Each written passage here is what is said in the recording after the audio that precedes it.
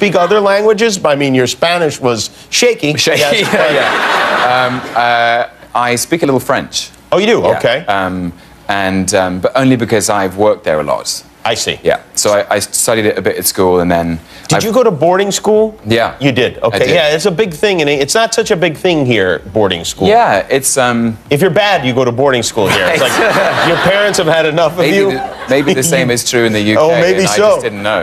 Was it an all boys school?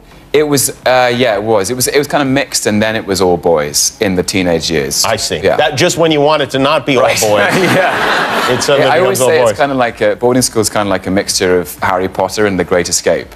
okay. With, with, without the magic or or the or the second, with or the second World broomsticks. War. Right. Yeah, plenty plenty of broomsticks. Yeah, yeah. But Yeah. the friends I made there are some of my closest. friends. Are they? Yeah, still to this day? Because you're like you're all lumped together and Yeah, right. from home, and you try and think of crazy things to do.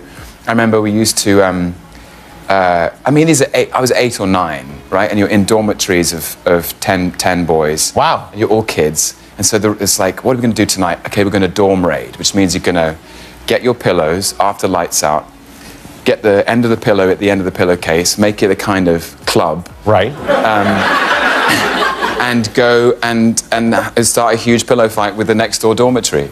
And the winner is determined by how many pillows you destroy, I see. basically. You want to destroy your own pillow? Well, you, you just want there to be feathers everywhere and and um, Bleeding. But yeah, yeah. you never forget. Boys are the worst, really. Yeah. You shouldn't put like a bunch of eight, nine-year-old boys Terrible idea. together. It turns into Lord of the Flies immediately, right? You're lucky to be alive. Yeah. You really are. It's kind of a good description of Kong Skull Island, actually. Yeah, right.